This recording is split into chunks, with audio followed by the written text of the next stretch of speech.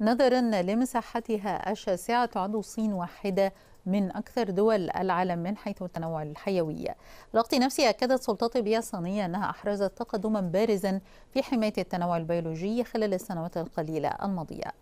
وذكر تقرير أصدرته السلطات الصينية يوم الجمعة أن الصين أنشأت ما يقرب من عشرة ألاف محمية طبيعية بما يغطي 18% من مساحة الأراضي الصينية. كما أعلنت 32 منطقة كمناطق ذات أولوية فيما يتعلق بحماية النباتات والحيوانات وأنشأت عشر حدائق وطنية تجريبية. وتم وضع 90% من النظم البيئية في الصين و71% من أنواع الحياة البرية الرئيسية تحت الحماية ما أدى إلى نمو أعداد الحيوانات البرية في الصين خلال الأربعين عاما الماضية.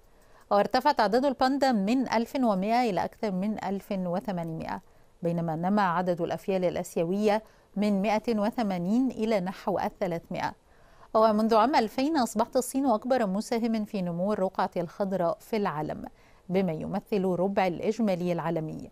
كما يرجع الفضل للصين في عشرة في المئة من أصناف النباتات الجديدة في العالم التي ظهرت خلال العقد الماضي بواقع 200 نوع سنوياً.